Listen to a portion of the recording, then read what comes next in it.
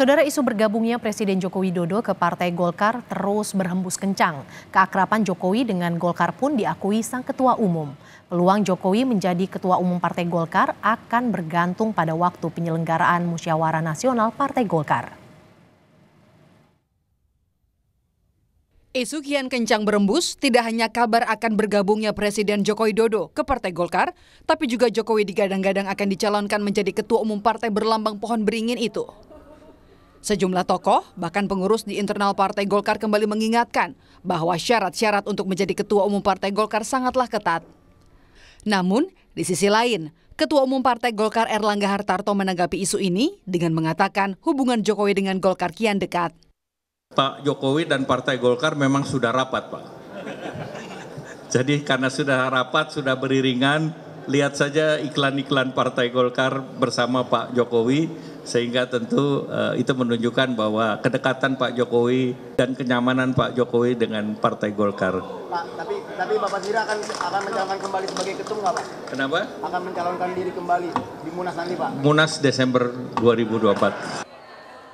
Wakil Ketua Dewan Pembina Partai Solidaritas Indonesia PSI Grace Natali bilang, Presiden Jokowi semestinya jadi sosok yang berada di atas semua partai politik. Grace mengatakan, Jokowi harusnya menjadi ketua koalisi partai-partai.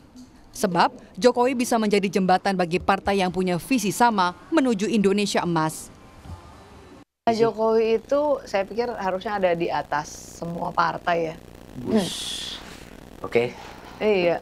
Hmm. Jadi kan kemarin ini ketua dan pembina PSI sempat ngasih ide itu, yang mm -hmm. saya pikir ide bagus juga. Mm -hmm. Pak Jokowi mungkin bisa menjadi ketua dari uh, koalisi partai-partai, mm -hmm. semacam barisan nasional. Mm -hmm. Partai-partai mau melanjutkan atau punya visi yang sama ya mm -hmm. menuju Indonesia emas gitu. Pak Jokowi bisa oh. ada di situ sebagai pemersatu jembatan. Jembatan. Ya, ya, ya.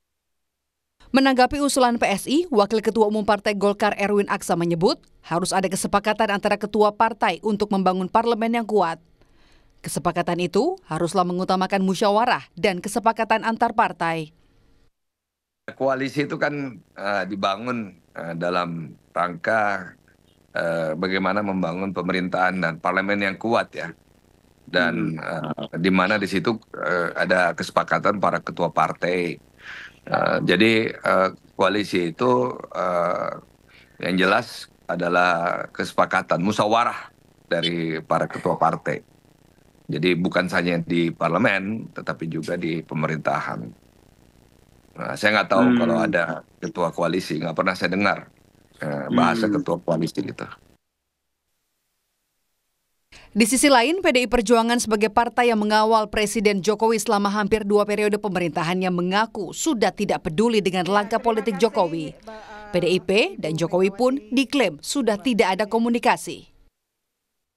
Ya Jokowi suka-suka dia mau jadi kader mana, kader siapa yang dia penguasa tertinggi. Hubungan bagaimana orang cita-cita dia menghancurkan PDIP kok masih ada hubungan dari mana? Kan jelas yang dibilang Adi Wijayanto beliau itu ingin supaya PDI Perjuangan suaranya uh, mengecil berkurang. Kalau perlu ya. Kan kira-kira gitu ya. Kalau sudah tahu kita isi kepala Pak Jokowi begitu masa masih mau komunikasi? Analis komunikasi politik menilai peluang Jokowi menjadi ketua umum Partai Golkar akan bergantung pada waktu penyelenggaraan musyawarah nasional Partai Golkar. Apakah dilaksanakan saat Jokowi masih menjadi presiden atau di saat masa jabatan Jokowi sebagai presiden telah habis? Kalau Golkar konsisten istiqomah munasnya itu Desember, saya kira Pak Jokowi akan menjadi bagian dari Golkar, apalagi dikaitkan dengan ketum. Bagi saya agak sulit. Tapi kalau munasnya itu dilakukan sebelum Oktober, rasa-rasanya apa pun bisa terjadi. Karena kekuasaan politik seorang presiden, entah siapa nanti yang punya intensi untuk mengajak di dalam, pasti cukup powerful dan akan mengubah segala-galanya. Berdasarkan jadwal dan ketetapan partai, pemilihan Ketua Umum Partai Golkar akan dilangsungkan saat Munas Partai Golkar Desember 2024 mendatang. Ada sejumlah nama yang santer dikabarkan masuk bursa calon Ketua Umum. Tiga di antaranya merupakan Menteri Presiden Jokowi di Kabinet Indonesia Maju, yakni Erlangga Hartarto, Bahlila Hadalia, dan Agus Gumiwang Kartasasmita, serta nama Ketua MPR Bambang Susatyo. Tim Liputan, Kompas TV, Jakarta.